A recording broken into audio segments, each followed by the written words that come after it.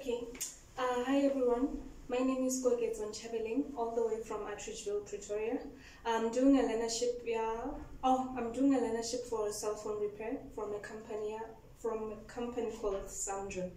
Uh, from this learnership, I'm hoping that I'm gonna gain a lot of knowledge when it comes to uh, cell phones like a lot of people only know how to like fiddle with cell phones and all of that. So what i'm hoping to do is that i'm gonna gain a lot of knowledge when it comes to fixing it so that i don't waste money going to maybe a cell phone repair or where else i can do it myself. And i'm also hoping that i'm gonna open my own business and also to empower other people from my hood where i came from because most people don't know how to fix repair or how to fix cell phones. So I'm hoping that I'll be the first one to do it where I come from and hopefully I'm gonna set a trend.